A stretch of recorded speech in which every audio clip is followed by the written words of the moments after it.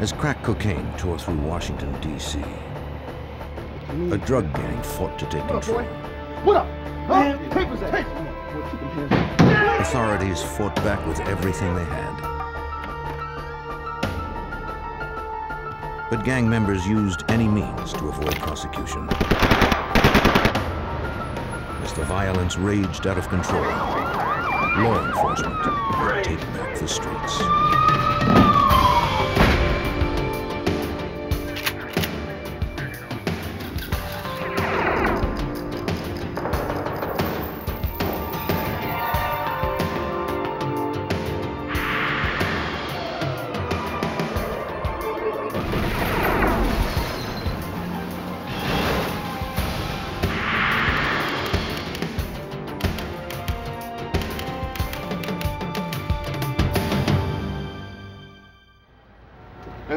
1990s, Washington, D.C. became the murder capital of the nation. Few were left untouched by gang violence, which was ignited by the drug trade. By 1994, that violence would strike at the very heart of law enforcement. I'm Jim Kallstrom, former head of the FBI's New York office. Would fall to the FBI to lead an international manhunt and bring in the leader of the city's most vicious gang. October 26, 1994. The nation's capital was about to become the backdrop to another bloody crime. Just before midnight, three masked gunmen broke into a home in the northwest section of the city. Get up! Get up! Get up! Now! Get up! They targeted Gerald Gaither, demanding his cash and drugs. Where's the money? Where's the money? Where's the money? Where's it at? Where's the money? He turned over what little money he had in his pockets.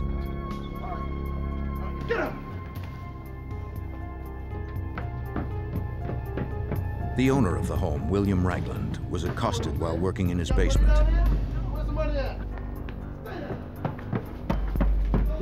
Upstairs, one of the gunmen discovered Nancy Hatchett and Darlene Hatchett, Ragland's daughter and granddaughter.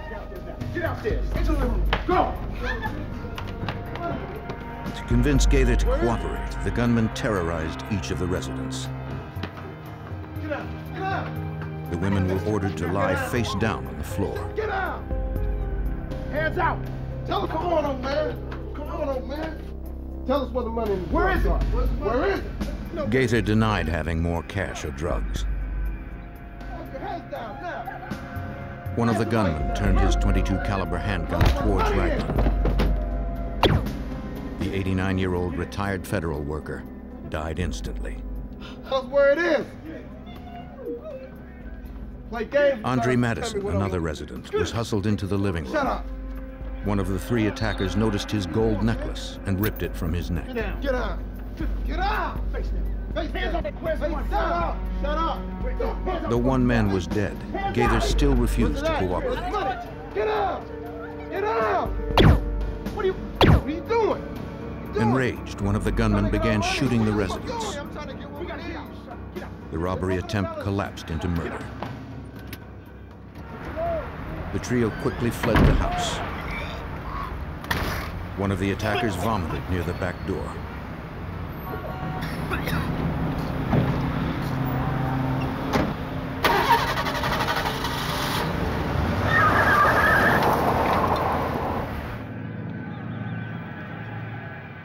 Nancy Hatchett called 911.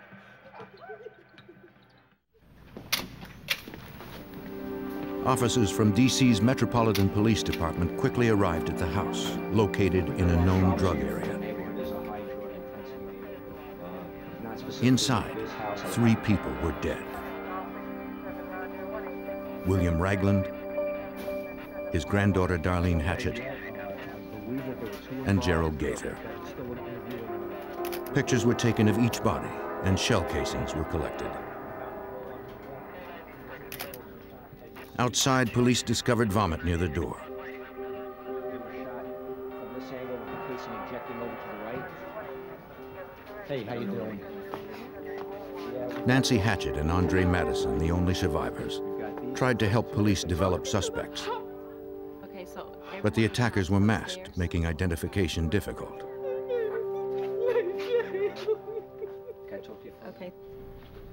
For Metropolitan Homicide Detective Anthony Brigadini, a check on victim Gerald Gaither suggested a possible motive. The main victim uh, of the triple was a drug dealer in the First and Kennedy Street area. Uh, the guy drove flashy cars, had nice clothes, had a lot of money. When the drug dealer was unable to give them enough money and or drugs, uh, things started to get a little harried, and uh, that's when the shootings occurred inside. Neighbors told police that after hearing gunshots, they saw a dark colored sedan with a loud muffler leaving the area. An all points bulletin was issued for the vehicle and three men inside.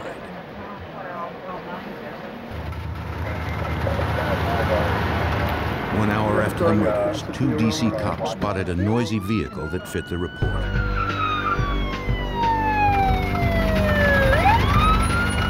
Noticing three men inside the vehicle, the officers pulled over the gray Oldsmobile.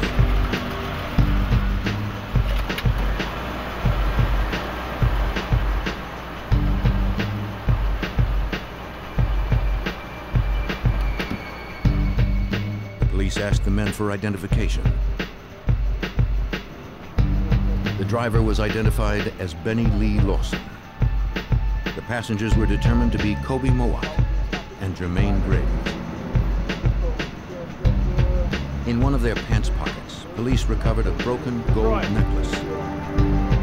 But details from the murder scene were still incomplete. To the officers, the necklace was meaningless. After recording all of the men's names and addresses, the three were soon released. There was no evidence in the car to connect them to the murders. Despite the lack of solid suspects, homicide detectives believed that Gerald Gaither had been murdered by a rival drug gang. By 1990, crack cocaine had hit the streets in Washington, D.C. Neighborhood gangs began to emerge throughout the city when it became clear that there was a lot of money to be made from dealing the drug. As more and more money flowed to the gangs, they resorted to violence to protect their turf from rival drug dealers. By 1994, the nation's capital was averaging nearly 400 homicides a year. DC police joined forces with the FBI and several federal agencies to combat the drug-related violence. Most of the murders remained unsolved.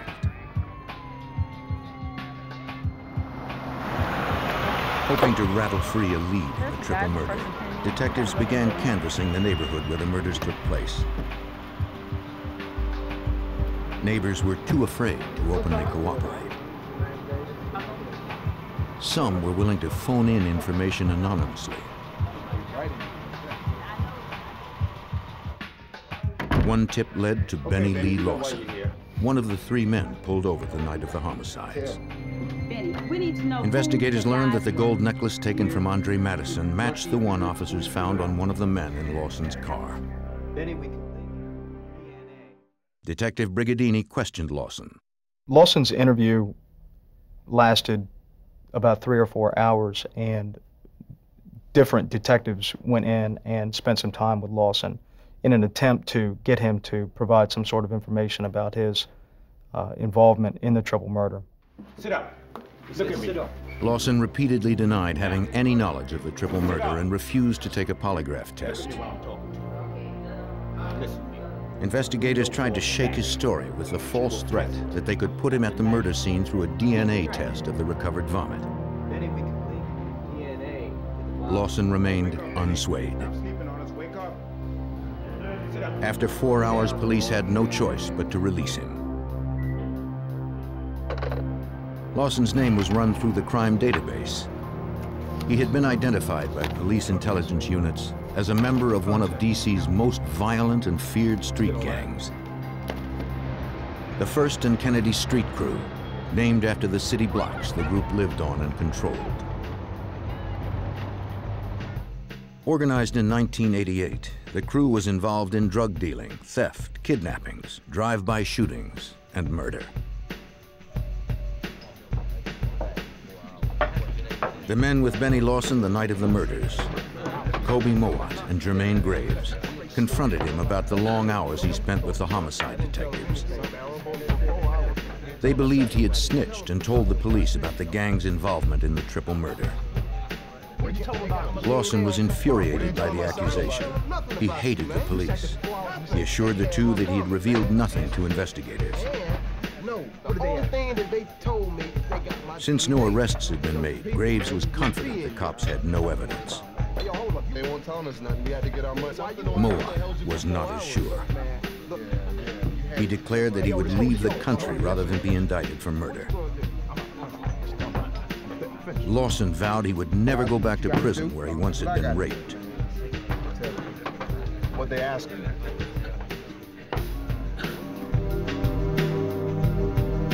Lawson returned home that night.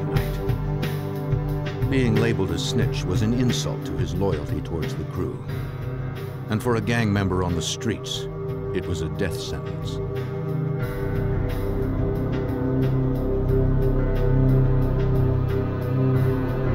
He was committed to gaining back the respect of the crew, proving that he was not a snitch.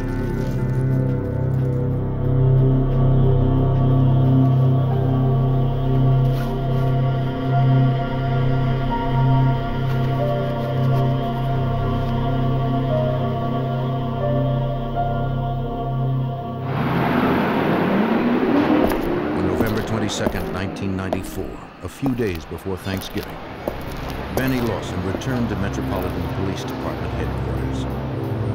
It was around 3.15 p.m. He was trying to locate the homicide department he had visited several days earlier. Hey, He asked two teenagers for directions. Going that way, through that door right there. They mistakenly led him to the cold case squad. Team inside the office was made up of personnel from the MPD and the FBI, whose job was to breathe life into the growing number of unsolved homicide investigations. Inside the office were FBI agents Martha Dixon Martinez, John Kufta, Mike Miller, and Metropolitan Police Sergeant Hank Daly.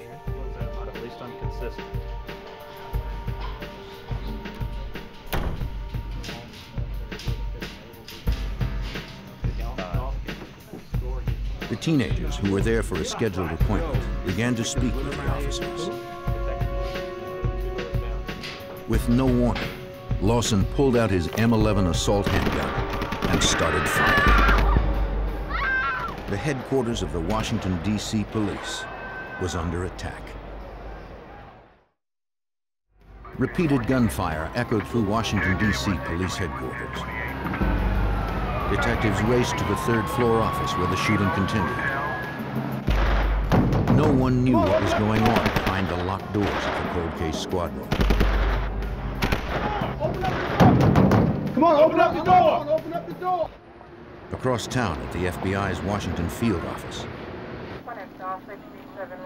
Hey, Tony, what do you have? All right, I'll talk to you. It was just a normal day like any other day. And we were monitoring one of the police radios, and we heard a call go out that there had been a shooting um, at MPD headquarters. Okay, we're agents quickly determined the shooting was Come on, we taking place go, inside the cold case office, where several FBI agents were on duty. And very quickly, we started to page our agents that were assigned to the cold case homicide squad to try to account for all of them.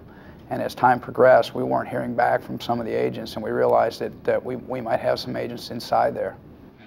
And as we listened, the, the calls became more serious, and they were requesting assistance. Critically wounded, Special Agent John Kufta was trapped inside the cold case squad office. When the shooting had stopped, he could hear the shouts from officers outside the office trying to get in. Help was just a few feet away. At that point, I heard a voice tell me they couldn't get in, and I thought to myself, uh, you know, I'm, I'm not going to die in here.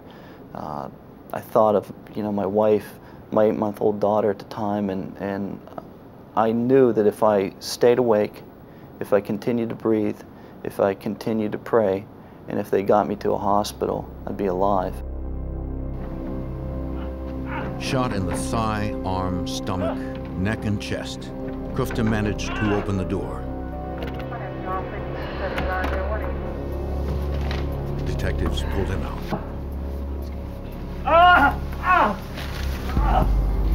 The only other visible person to the rescuers was Metropolitan Police Sergeant Hank Daly. Barely clinging to life, he was dragged from the room. He was rushed outside where a helicopter waited to transport him to the hospital. Knowing if the shooter was planning another ambush, the officers waited for the SWAT team to arrive. FBI agents and SWAT teams from around the Capitol converged on the Metropolitan Police headquarters. Yells continued from inside the room as the SWAT team arrived. Heavily armed, they entered the room.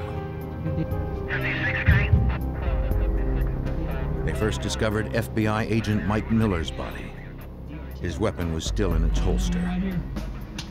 In an adjoining room, the SWAT team discovered the body of an unidentified black male. There was a gunshot wound on his hip and a fatal wound to his head. FBI agent Martha Dixon Martinez was the final victim found. She had gunshot wounds in her back. Near her lay the gun the shooter had likely used to kill her and the others, an M11 assault weapon.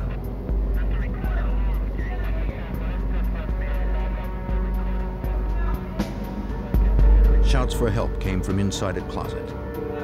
Suspect in the closet! Open the door slowly! Not knowing if he was a suspect or an innocent bystander, the SWAT team apprehended one of the teens who had walked in the room before the shooting began.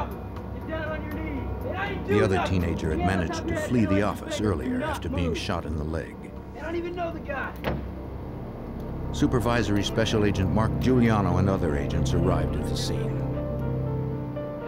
I just remember walking through the hallway and just seeing the chaotic scene and the blood and, and just the, the total um, realm of emotions on everybody's face from you know being focused on, on the mission of trying to figure out what happened and could there be other people involved.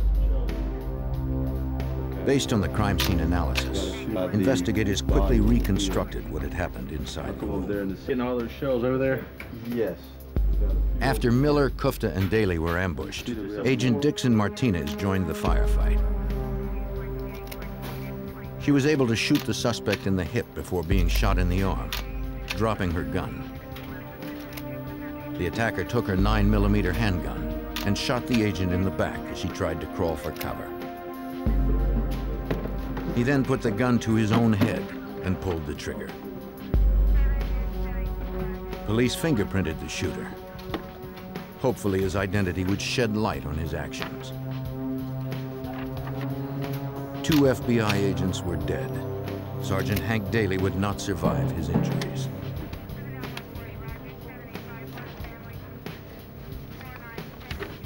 It would be the first time in eight years that more than one FBI agent had been killed at a single time. It was also one of the worst attacks in history on the DC police.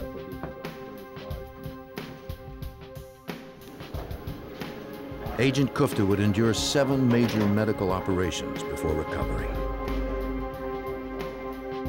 The loss of his co-workers, Sergeant Hank Daly, Agents Mike Miller and Martha Dixon Martinez, was devastating.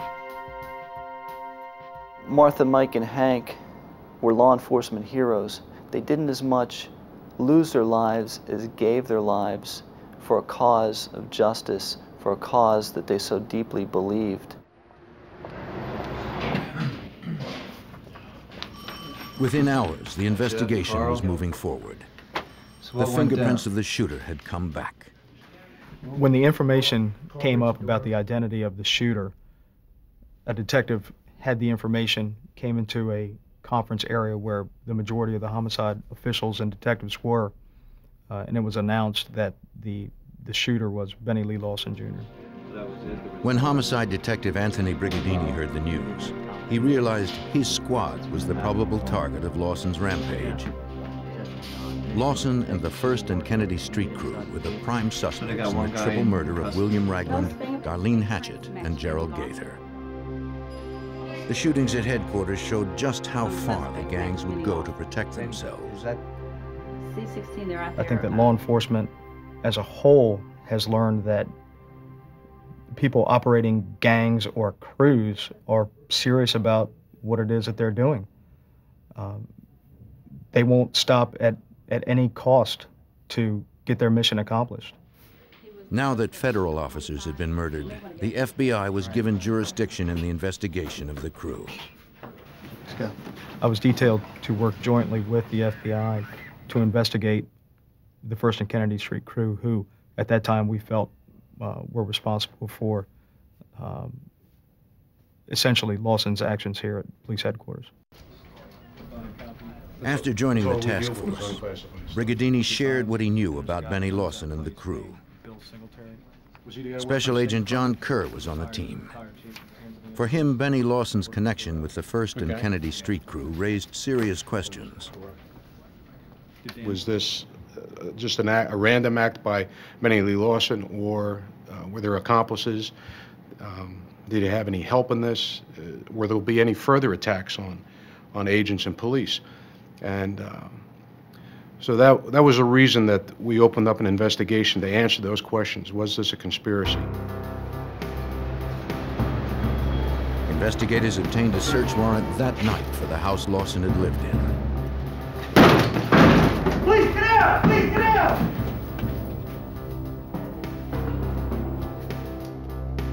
In his room, they uncovered a note written to the members of the DC homicide unit who had interrogated him, threatening to kill them. Gang-related materials, violent rap lyrics, and drawings of murders were everywhere. For investigators, the items in Lawson's room reflected a fixation with violence common to virtually all gang members. It was very obvious and disturbing that these individuals were living this lifestyle. This is the lifestyle that they uh, were a part of. This is the lifestyle that they identified with and wanted this they wanted to actually live the same lifestyle as the as the as the lyrics that they were writing the pictures they were drawing and the videos that they had as the victims of the shootings were laid to rest investigators were planning their strategy to ensure that these gang members could never kill again with six homicides on their hands, including two FBI agents and a Washington, D.C. police detective. A joint FBI MPD task force began gathering information on the First and Kennedy Street crew. FBI agent Mark Giuliano headed up the task force. And our goal was to A, investigate the crew because they were a violent street gang, and B, to try to determine what the motivation was of Benny Lee Lawson to come into police headquarters and do what he did, and to determine if there was anybody else involved at, at either end, either in helping him get there to pull off what he did or helping uh, the crew afterwards to cover up what had happened. In the wake of the shootings at MPD headquarters, police pressure on gang members increased. The crew members reacted by spending less time on the streets. Building a case against them for their criminal activity would be difficult. The crew was impenetrable to outsiders. Planting an undercover agent inside the gang was too dangerous. What we realized is that A, we had a very close crew. That is, they, they took care of each other and watched each other very closely, but they were very, very leery of outsiders. They had been leery before, but they were even more leery now, and that any attempts for us to get somebody, an agent or a police officer on the inside, was, uh, was not something that we were going to even attempt to do. Instead, agents would have to gather intelligence on the crew through covert surveillance. As time went on, the gang returned to business as usual. The FBI was watching. We had uh, extensive surveillance coverage of the area, uh, day and night uh, identifying everyone that came onto the block identifying who the buyers were, what time of day, where did they go when they bought, did they get into a car, did they go into an alleyway, uh, did they do it hand to hand right there in front of you. Uh, all these things we started to uh, take notice of and document. Through surveillance, the leaders of the crew were soon identified. Kobe Mowat and his second in command, Jermaine Graves, the two men in the car with Benny Lawson the night of the first triple homicide. On the streets, Mowat was known to be violent and unpredictable. The reputation of Kobe Mowat was that of, of fear, that he would uh, react quickly. Um, at times he had a temper. Um, he always carried a gun and, and could be extremely violent at times. Looking into Kobe's past, investigators discovered he shared a common history with Graves and with Benny Lawson. Their relationship developed in 1990 while serving together in Washington, D.C.'s Lorton Prison, located in Northern Virginia. They had been arrested and convicted for weapons violations while preparing for a drive-by shooting in another gang. Do you know what happened to me? The task force members were convinced that Mowat and Graves played some role in all six murders. But the leaders of the 1st and Kennedy Street crew continued to keep a low profile. Agents devised a long-term strategy that would net not only Mowat and Graves, but also the entire gang membership. They would slowly build a conspiracy case against the crew that would include the entire range of their criminal activities. From crack cocaine trafficking yeah, to just down murder. off the street. Well, back in 430. Hang on to those for me.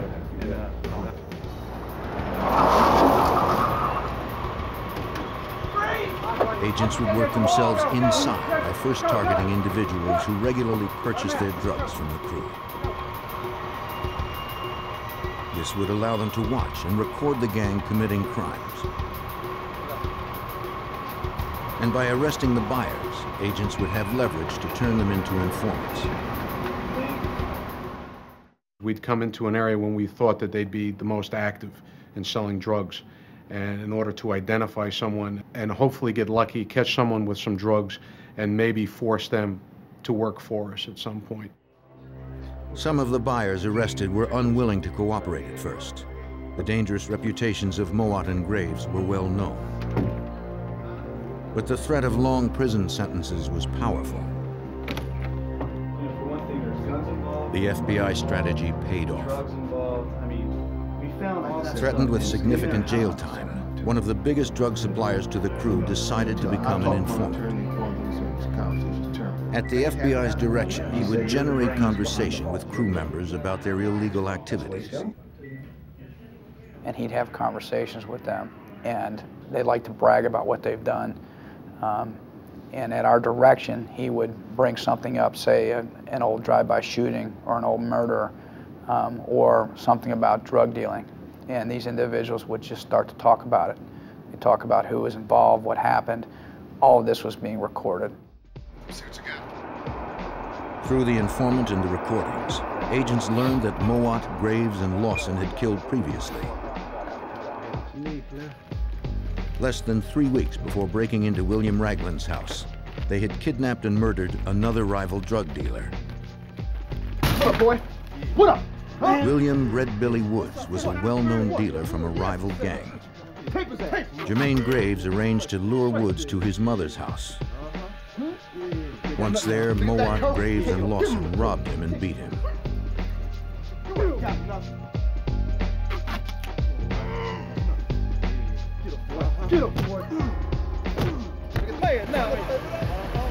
Fearing the rival gang would retaliate against the crew, they shot him three times and dumped his body in the road.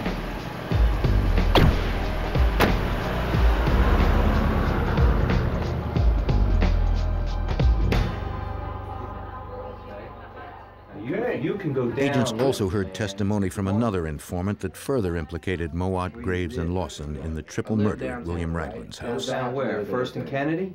Huh? He overheard Benny, Kobe, and Jermaine Graves talking about the triple homicide. And one of the things that he mentioned that they were giving Benny a hard time for was the fact that he threw up um, at the scene of the triple homicide. That's something that only the homicide detectives knew and that we knew and had not been released to the public. The information was only circumstantial, but months of surveillance and informant testimony gave agents enough evidence to obtain a search warrant for the homes of Kobe Mowat and Germaine Graves. They would strike at Germaine Graves first. A heavily armed SWAT team made their way inside his house. Police, get down! No one was there. Oh, one more. Agents would not leave empty-handed. We were able to uh, locate a, a uh, 9 millimeter gun, semi-automatic pistol, as well as some crack cocaine, what we believe to be crack cocaine. Uh, one of the members on the squad took the information that we got from the gun and uh, put together an affidavit for an arrest warrant based on the fact that it was a convicted felon in possession of a firearm. For several weeks, Graves eluded investigators. They continued surveillance, hoping that he would turn up.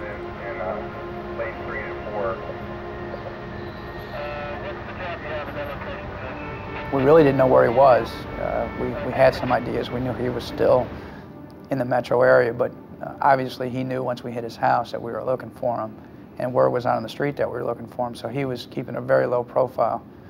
Um, during one of our very standard surveillances, I saw an individual who walked like Germaine Graves, just from the back. I couldn't see his face. So I asked one of the units to drive around the block and just take a look at the guy. And the next thing I know, uh, they jumped out and, and arrested him. Uh, they knew as soon as they pulled around the corner it was him. And um, you know, he was arrested right on the street corner of First and Kennedy. Just a few months after the first triple murder, Graves was off the streets. Making a case against Kobe Mowat would prove more difficult. With the arrest of gang member Germaine Graves on a weapons charge, the FBI task force was one step closer to taking the First and Kennedy crew off of the Washington, D.C. streets. Now agents were ready to serve a search warrant on the home of the crew's leader, Kobe Mowat. A SWAT team entered the house Kobe shared with his twin brother Kareem. The two never knew what hit them. Investigators found gang-related documents, drawings, and writings, and a small amount of marijuana. They found no guns or evidence of the murders. But that was not their prime interest. The task force hunted for evidence of a larger crime pattern. Gang videos, bad videos everywhere. Most of the evidence we were looking for at the time was list of crew members, um, shirts that they all wore with the, the, the logo on them, pictures, um, phone books, things that would associate this group together. The twins were arrested on drug charges and taken in for booking.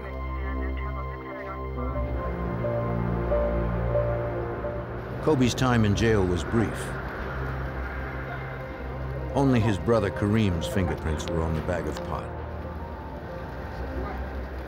Kobe was released and the possession charge was dropped. Agents were determined to see him back behind bars. You know what? Investigators continued developing informants from within the gang. They got the break they were looking for. Facing jail time on a drug charge, a member of the First and Kennedy crew agreed to cooperate. Finally, investigators learned the answer to the question that had most plagued them. Why did Benny Lee Lawson go into police headquarters and kill two FBI agents and an MPD sergeant? Yeah, Jimmy. It started the night Kobe Mowat, Germaine Graves, and Benny Lee Lawson broke into the home of William Ragland.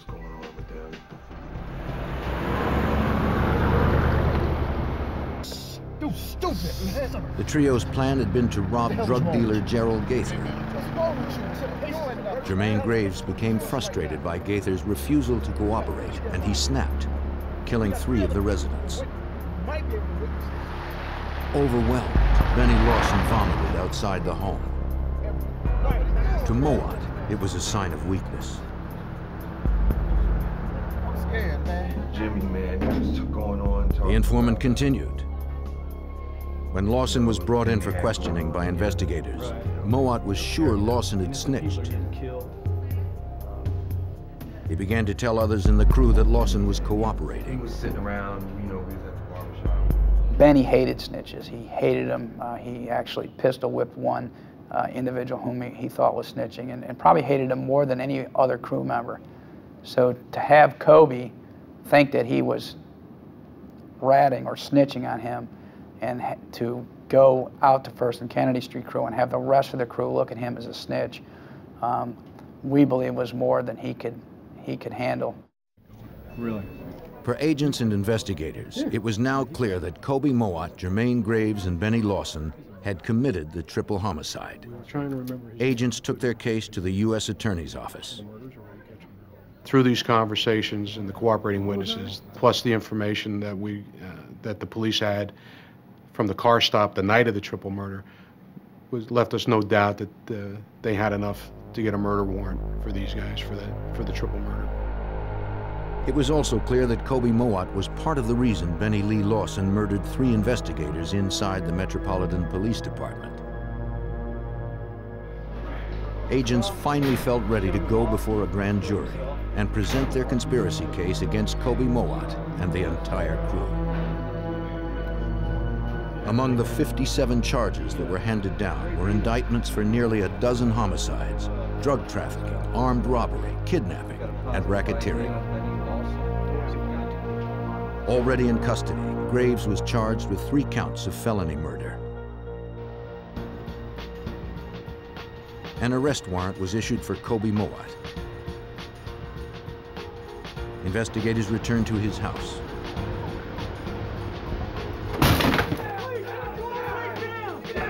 This time, he wasn't home. The closets had been emptied. The place looked like it had been abandoned. In the trash, investigators found a receipt for a plane ticket. It appeared that Kobe had kept his promise to flee rather than go to jail. And the plane ticket was for just a few days before we hit the place. And the plane ticket was from New York uh, to Moscow. And at that point, uh, we knew that Kobe had most likely fled not only the area, but most likely the country. Mowat was one step ahead of the agents. They tried to pick up his trail in Russia, but he was nowhere to be found. Investigators discovered there was a flight departing to Africa soon after he landed in Moscow. A check of the passenger list revealed nothing. There you are, sir. Agents grew increasingly more frustrated. Moat was slipping away. For six months, FBI agents and Washington, D.C. police tried to track fugitive Kobe Mowat. He could be hiding anywhere. An international manhunt was underway. We literally went months without a break. Um, we went through hundreds and hundreds of documents that we had obtained during search warrants, um, during various parts of, of the uh, investigation, looking for overseas phone numbers, looking for overseas relatives, uh, once again, without a break. After several months, Agent John Kerr got a break. Through an informant, he uncovered the name of an ex-girlfriend of Kobe's. We had come up with addresses for one of the addresses we came up with. We subpoenaed the toll records, and sure enough, we found a collect call from Kenya on one of her toll records. And uh, this was shortly after he would have arrived in Africa. Agents brought her in for questioning. She repeatedly denied knowing anything about Kobe Mowat's whereabouts. He's out killing people. Agents confronted her about the phone records. If she continued to withhold information, they would serve her with a grand jury subpoena. She decided to cooperate. She told investigators that Kobe had in fact called her several times from Nairobi, Kenya. He had not called her recently. She believed he might have moved on to Tanzania. The information was immediately passed on overseas. You, you have to know where he is. Moat's phone call to his ex-girlfriend had originated from a hotel in Nairobi.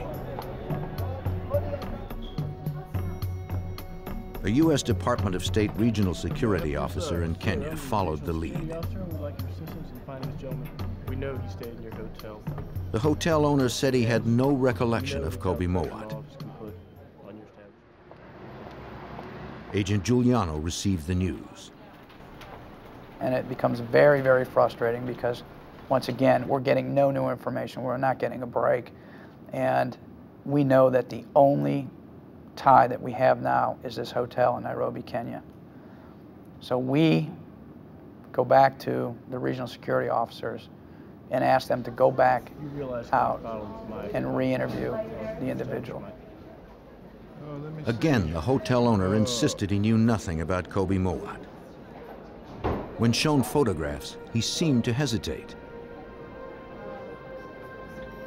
The regional security officer kept pressing. Finally, the owner asked for a guarantee that if he gave information, Kobe would never be told. The regional security officer agreed to protect him. He said Kobe had in fact been to his hotel, but he had left several months ago. He gave the security officer a number that Kobe had called while at the hotel. The call was to the East African country of Tanzania. It took agents a few days to determine why the hotel owner protected the First and Kennedy Street crew leader. What we determined is that Kobe's mother was um, educated in Jamaica, and during that process, she had befriended several individuals who ended up going to various parts of the world. She had an association with this hotel owner in Nairobi, and she had made the contact to uh, protect Kobe and to help him. You have a nice day. Thank you. The phone number in Tanzania eventually led investigators to a local college professor. He was a friend of Kobe Moat's mother. The FBI asked the Tanzanian National Police Department to follow the lead. No. The professor was unwilling to cooperate with the authorities. Certainly not a student. The National Police began their own investigation into Kobe Moat's whereabouts in their country. As the search for the gang leader intensified in Tanzania, agents and police in Washington, D.C. continued to build their case against the First and Kennedy crew. They amassed volumes of evidence through surveillance and informant testimony over the previous year.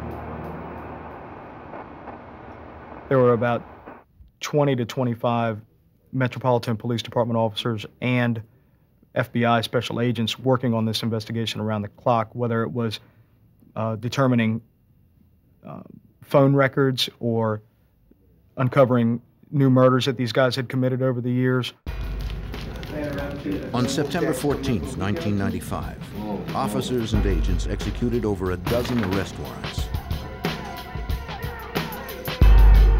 They searched for any indication of the gang leader's whereabouts in Africa. They found nothing. They collected additional evidence of a criminal enterprise. They confiscated financial records, guns, drugs, and gang paraphernalia. Stay right there. Don't move. Some of those arrested agreed to cooperate in exchange for less jail time. Investigators were slowly taking all of the gang members off the streets.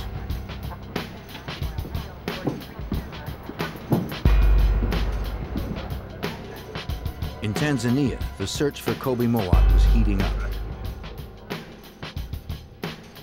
The National Police Force developed their own informants and learned that Moat had in fact been in contact with a university professor. I don't know anything about I could uh, take you on a small... They returned to interview him.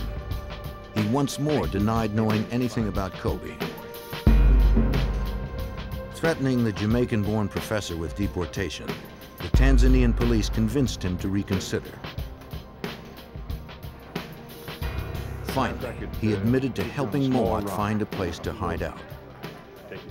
He offered to take the authorities there.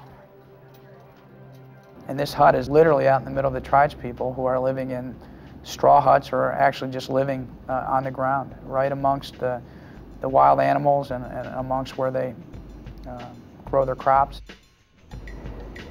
It was the last place on earth authorities would have thought to look for Moat. Unaware that the professor had betrayed his location, Moat was surprised to see the police approaching his hut. He set fire to anything that could potentially identify him.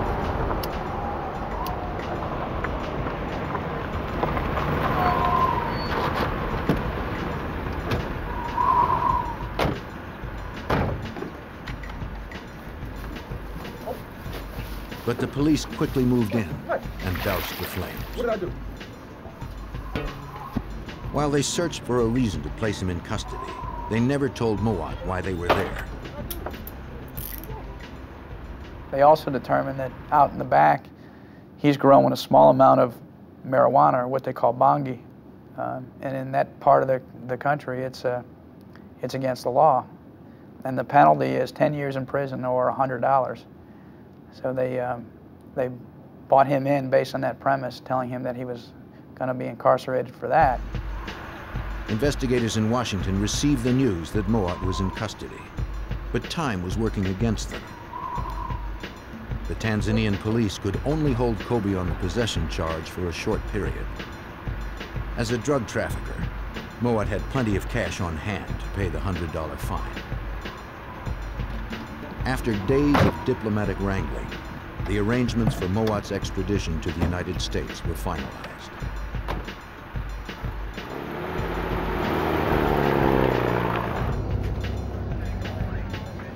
Agent Giuliano and Detective Brigadini traveled to Tanzania to take him into custody.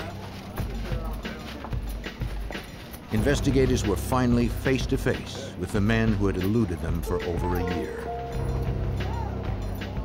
When he came in, um, Kobe looked tired and uh, um, he looked like he, he had been defeated. Um, we explained to him what the charges were, that he was being removed to the United States, um, that he had been indicted in the United States for a variety of charges, including several counts of first-degree murder um, and racketeering. Moat was on his way back to the United States, where he and fellow gang members faced 57 indictments. Kobe Moat and Jermaine Graves would be convicted on all counts. They were each sentenced to 35 years in a federal prison. Moat's capture in Africa allowed investigators to get the remaining First and Kennedy crew members off the streets. When we brought Kobe back to the United States, um, he just had a, a, domino effect on the rest of uh, rest of the crew members. Um, eventually, every crew member pled guilty um, because they they felt and actually told us that once they saw that we had uh, found Kobe uh, in East Africa and brought them back, that uh, they felt they didn't stand a chance. FBI agents and D.C. police worked tirelessly to bring justice to the victims of gang violence. But this case was also personal. Only after the entire gang was in jail could they have a sense of closure and feel they had vindicated the deaths of their friends. Sergeant Hank Daly and FBI agents Mike Miller and Martha Dixon Martinez. For Agent John Kufta, who barely survived the attack at police headquarters, the implications of this case were far-reaching. When this group was locked up, I think it sent a clear message to other criminal organizations out there operating in the District of Columbia and in that tri-state area there that the uh, FBI and the DC police will go to whatever lengths are necessary if it takes them to other continents to track you down and find you and bring you back to the United States to justice.